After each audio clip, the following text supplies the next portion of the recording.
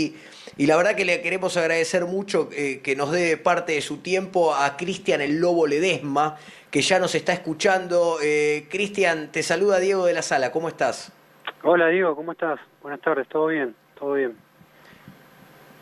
Bien, acá, acá estamos trabajando, como decimos siempre, desde nuestras casas. Eh, primero te pregunto, Lobo, ¿cómo, cómo te ha tomado esta, esta pandemia que ya lleva eh, varios días el tema del aislamiento? Eh, ¿A cada uno lo tomó en un momento personal, laboral, particular o, o proyectando algo? Digo, ¿a vos te, te puso en pausa en qué momento? No, bueno, yo ya estaba en pausa a la espera de alguna posibilidad para, para volver a dirigir, pero bueno, todo esto hace obviamente que se retrase todo aún más.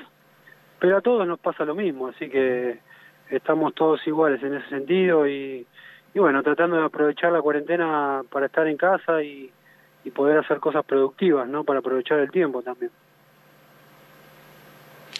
Ya me meto en un tema, digo, porque vos decías, yo, yo estaba buscando alguna oportunidad, si, si la tuvieras ahora o si la, la hubieras tenido muy poquito tiempo antes, estarías inmerso ya no en una espera, sino en, en una especie de, de conflicto y de crisis, ¿no? Hoy escuchamos a tantos futbolistas, a tantos técnicos en una incertidumbre muy grande, revisando contratos, hablando de las diferencias entre el ascenso y, y el fútbol de primera división, cada futbolista es distinto, tiene un presente distinto, eh, está complicado el asunto, ¿no, Lobo?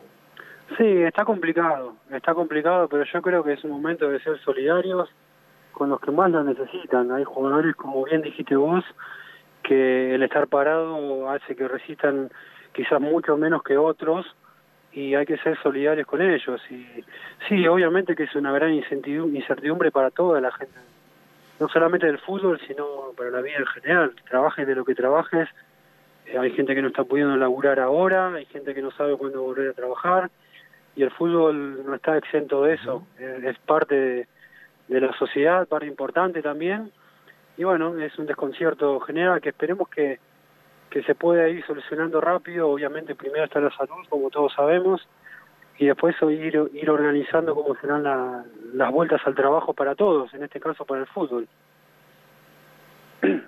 Eh, Lobo, claro que, quiero repasar en algún momento lo que ha sido tu carrera como futbolista, que ha, sido muy rica, eh, dicho sea de paso, y, y, se conoce. Pero ¿cómo fue la experiencia? Vos decías, estoy esperando una nueva oportunidad o esperando eh, volver a laburar. ¿Cómo fue la experiencia de, del Ledesma técnico? Viste que hay jugadores que dejan y enseguida se tiran de cabeza a dirigir y les agarra como esta cosa de, bueno, ya se saben recontra técnicos otros dirigen y por ahí dicen no es lo que esperaba. Digo, aquella primera experiencia en un equipo grande, podríamos decir, ¿no? Muy popular, por lo menos, como Tigre. ¿Cómo te ha resultado finalmente? Sí, para mí fue una experiencia de mucho aprendizaje, eh, en donde en el balance general hago, saco muchas cosas positivas, obviamente también muchas cosas por corregir, pero entendiendo que agarramos un equipo que estaba en una situación muy comprometida en cuanto al descenso, y, y, creo que pudimos llevar adelante nuestra idea futbolística. Creo, creo que eso es importantísimo porque uh -huh.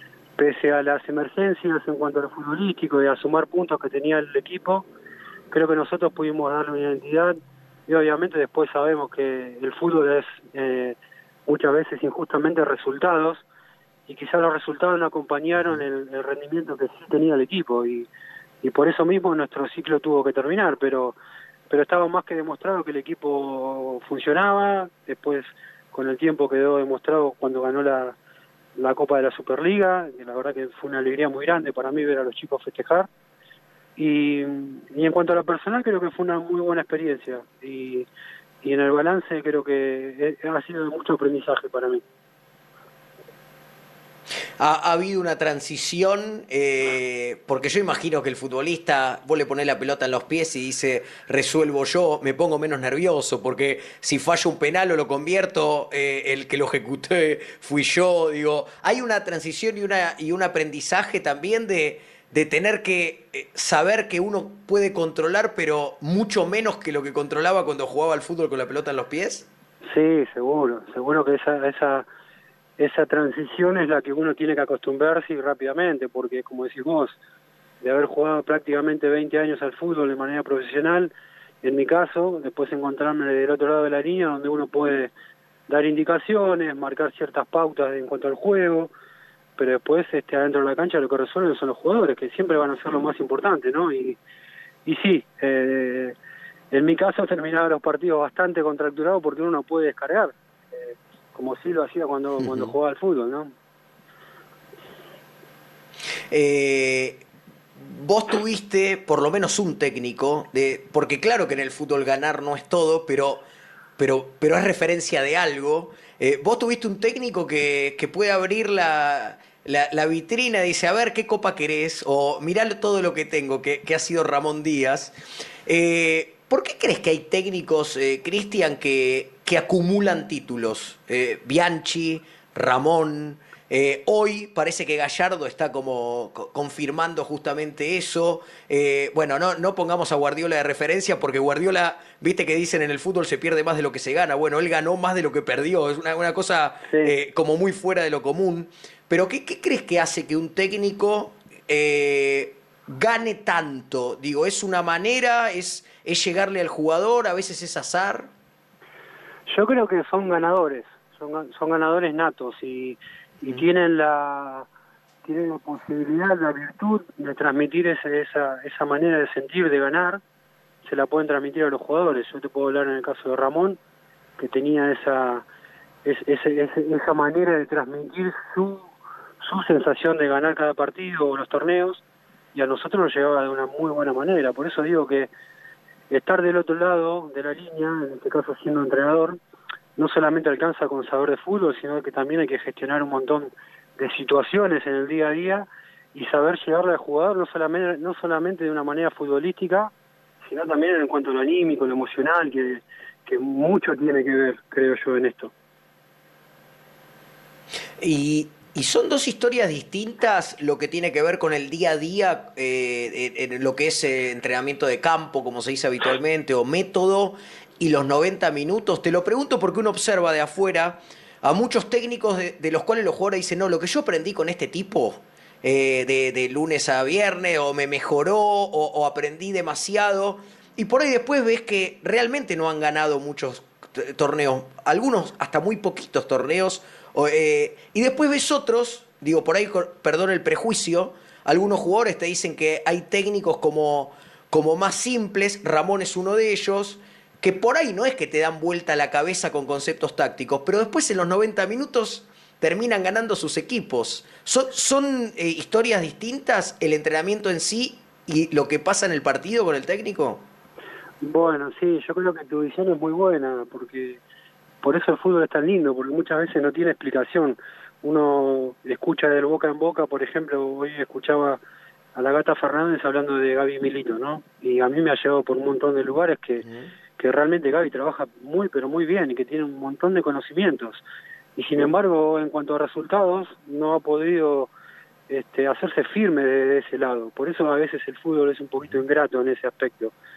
Pero creo que se trata de las dos cosas yo creo que se trata de tener el conocimiento que es lo principal porque para mí la principal pata de, de la mesa se puede decir o de la silla es el conocimiento sin conocimiento es muy difícil transmitirle a un jugador y después saber gestionar, gestionar como te decía, esos momentos, esa manera de llegar al jugador en la semana. Yo entiendo que la semana es lo más importante. Obviamente después en el partido el entrenador tiene que tener una lectura del juego rápida, pero el principal trabajo para llegar al, partido del domingo se hace de lunes a viernes, de lunes a sábado. Te quiero preguntar, eh, Lobo, ya tocando un poco tu carrera como jugador por dos nombres propios que, que a los que hoy ves como muy arriba, en distintos estamentos, ¿no? Uno lo ve al muñeco Gallardo eh, eh, absolutamente engrandecido y lo ve a Juan Román Riquelme en una posición que hasta te quiero preguntar si lo imaginabas vos. Tuviste mucha ligazón con Román en, el inicio en Argentinos, en el final en Argentinos, en, grandes clásicos Boca River, River Boca enfrentándolo. Eh, ¿Qué, te pasa cuando los ves a ambos hoy? Eh, allí, allí subidos a un lugar que se han ganado. ¿Al Riquelme dirigente y, al Gallardo técnico? Bueno, tuve el privilegio de haber jugado con los dos. Em, con Román te puedo decir que a mí no me sorprende para nada el lugar que está ocupando en Boca, porque aparte de haber sido un enorme jugador que todos todos conocen, yo tuve la, la posibilidad de conocerlo en el día a día y sé que es una persona muy inteligente, eh, con mucho conocimiento de fútbol, mucho conocimiento de, cómo se maneja un vestuario, y creo que todo eso lo está volcando en su nuevo cargo y la verdad que, que le está yendo muy bien. Eh, y en cuanto a Marcelo, jugué con él y me sorprendió, debo confesar que me sorprendió muchísimo, eh, para bien, obviamente, porque porque ha ganado cantidad de cosas en, River y, ha sido una grata sorpresa para, para todos los que nos gusta el buen fútbol, el buen fútbol y todos los que, hemos pasado por River. Eh, y, le ves techo? Eh, ¿Crees que, tiene todavía mucho más para dar, más allá de ganar más títulos o no? Digo, de progresar todavía más como técnico. ¿Qué, qué es lo que más te sorprende? ¿Qué es lo que decís? Eh, mirá lo que hizo o mirá cómo logró esto. ¿Hay algo que, que, te haya sorprendido puntualmente ahora que eran colegas antes con, como jugadores, pero ahora también son colegas como técnicos? No, ahora ya no me sorprende nada. Así como me sorprendió al principio verlo dirigir y empezar a ganar, ya no me sorprende. Y, y cuando uno cree que hasta acá llegó, que ganó un campeonato y se va, se queda y sigue ganando y sigue reinventando el equipo, que eso para mí es, es algo fundamental en un entrenador a él le ha pasado en varias oportunidades que el equipo sale campeón y se le llevan dos o tres jugadores importantísimos y él sin embargo los reemplaza de una buena manera y creo que, que ahí es donde se ve la verdadera mano del técnico y él lo hace constantemente y no le veo, de hecho sinceramente creo que tiene para para seguir creciendo, para para para dirigir en Europa, la verdad que me parece un entrenador muy completo. Eh, te, llevo un tema, hoy empezábamos el programa con, un, con una noticia no agradable, ¿no? Con el fallecimiento de Trinche Karlovich allí en Rosario. Recién mencionamos a Riquelme. Bueno, vos tuviste una manera de jugar al fútbol donde, donde esto bien dicho, uno, uno sentía que estaba viendo jugar a la pelota también. Viste que a veces cuando se dice jugar a la pelota parece como que, que, es como ningunear esta, esta, cosa del laboratorio del fútbol. Eh, eh, ¿Qué pasa con, con, este tipo de jugadores? Eh, lo que nos cuentan de Karlovich, lo que generó Román, lo que hiciste en algún momento, hablabas de Gallardo. ¿Dónde está el límite entre jugar a la pelota como cuando jugabas de chico y jugar al fútbol súper profesional? ¿Es, ¿Ese camino, digamos, es, es, muy largo? ¿Hay mucha diferencia entre una cosa y la otra o lo esencial está? Mira, sí, hoy cuando nos despertamos todos con esa triste noticia de Trinche la verdad que no tuve el privilegio de verlo jugar. Eh, uno empieza a buscar en internet, a, tratar de encontrar algún archivo en donde se lo vea jugando por, por todo lo que escucha uno de esa clase de jugador. Y en mi caso, cuando me enteré que jugaba también de volante central, dije, qué lástima que no hay nada para verlo cómo jugaba, porque muchos dicen, como yo te escuchaba hablar con Sanabria hace un ratito, que, que decían que el trinche era, era, era impresionante lo que jugaba, era, lo comparaban con Maradona, que lo llamaba Benotti, que, que venían de todos lados a buscarlo y él sin embargo no, no se quería mover de Central Córdoba, creo que era. Y, y decís, eh, eso de jugar a la pelota, ese es el talento, ¿no? No importa si, si está jugando en su pueblo, si está jugando en, en la cancha del Real Madrid, es, es la esencia del fútbol. Yo me acuerdo una vez le hiciste una nota, un programa a Garrafa Sánchez, eh, que también, eh, Garrafa era, era puro talento, puro potrero, me tocó conocerlo porque jugué contra él, no tuve el placer de jugar con él, pero también la comparación es que esa es la esencia del fútbol. Y yo creo que el futbolista nunca debería perder esa esencia, por más que después se encuentre con una profesión o por más que después se encuentre con que está trabajando de futbolista, ¿no? Que es profesional, pero ese amateurismo que nosotros sentimos cuando somos chicos, creo que lo tenemos que sostener durante toda la carrera. Creo que esa es eso es lo más importante, es el fuego sagrado que que nunca debemos perder. Vos sabés que, que Trinche tenía una frase que, que a mí me, me, lleva mucho a Román, porque Karlovich también decía, eh, no hay nada más rápido que la pelota. eh, que si la pelota viaja rápido y la mente viaja rápido, eh, a cuánto, cuántos kilómetros haga uno en una hora es muy relativo, ¿no? Sí, sí, tal cual. Hay que ser rápido de arriba. Aparte escuché decir que tiraba caños de un lado y del otro. Y ¿cómo no hay una imagen de ver a, semejante jugador en un potrero tirando un caño de un lado y del otro? Es, bueno, en mi, en mi caso son una de las cosas que más disfruto de, del fútbol, esos esas pisadas, esos caños, eh, y bueno, todos dicen los los que pudieron verlo que, él lo hacía y que lo hacía con mucha facilidad. Eh, mientras recordamos a, a Karlovich, estamos viendo un golazo tuyo que no es uno más, es aquel enorme gol que haces en, en, una de las últimas consagraciones de River, digo, por lo menos allí con, con Ramón. Eh, ¿Fue una manera, una manera buena o, el broche de oro de lo que para vos significaba finalizar en, River? Digo, River, argentinos, no, no, no tuviste un buen paso por Racing, vos siempre lo decís, pero, pero también un equipo grande. Eh, ¿Estás a buenas con todo lo que hiciste en el fútbol, eh, Lobo, más allá de que jugaste también en el exterior? Lo de San Lorenzo, ni hablar. Sí. sí, sí, la verdad que yo soy un agradecido de todo lo que viví en el fútbol yo soñaba cuando era chico poder jugar al fútbol, poder poder disfrutar de jugar a la pelota, ¿no? Yo creo que el privilegio de trabajar de lo que le gusta a uno, eh, no todos tienen la, posibilidad de hacerlo. Yo la verdad que lo tuve y soy agradecido de haber jugado tantos años al fútbol y en, y en tantos lugares importantes. Y creo que he aprendido de todos los, pasos que tuve, de, de los buenos y de los malos, porque todos me han servido para algo.